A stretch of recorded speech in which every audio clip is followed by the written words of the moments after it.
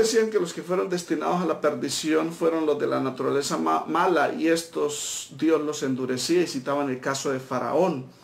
Pero ellos dicen, los gnósticos, Dios endureció al, corazón de Faraón y de sus siervos. Ahora Ireneo replica, aquellos pues que alegan tales dificultades no leen en el Evangelio, que Dios conociendo el número de aquellos que no creerán, ya que Él conoce de antemano todas las cosas, los ha entregado a la incredulidad y volvió su rostro de los hombres de esta estampa, dejándolos en tinieblas, las cuales ellos mismos han elegido para sí mismos ¿Qué hay de maravilloso si él también lo hizo en ese momento al entregarlos a su incredulidad? Faraón, quien nunca hubiera creído junto con los que estaban con él, como la palabra habló a Moisés desde la zarza. Y estoy seguro de que el rey de Egipto, eh, eh, eh, de la zarza, y dijo Dios a, a, Moisés, y yo estoy seguro que el rey de Egipto, Faraón, no os dejará ir a no ser por mano fuerte. Éxodo 3.19.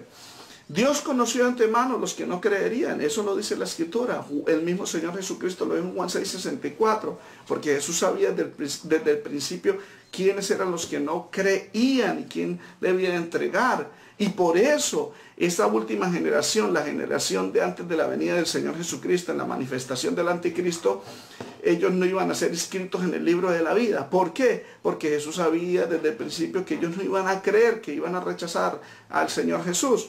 Y por eso dice en Apocalipsis 17, 18 que los moradores de la tierra, los que viven para la época del anticristo, aquellos cuyos nombres no están escritos desde la fundación del mundo en el libro de la vida. ¿Y por qué no?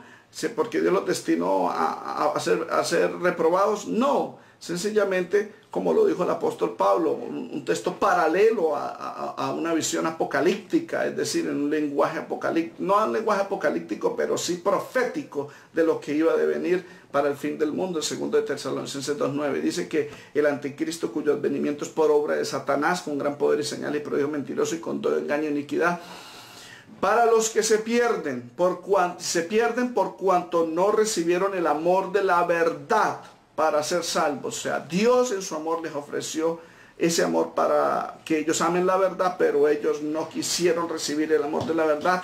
Por esto Dios les envió un poder engañoso para que crean la mentira, a fin de que sean condenados todos los que no creyeron la verdad, sino que se complacieron en la injusticia.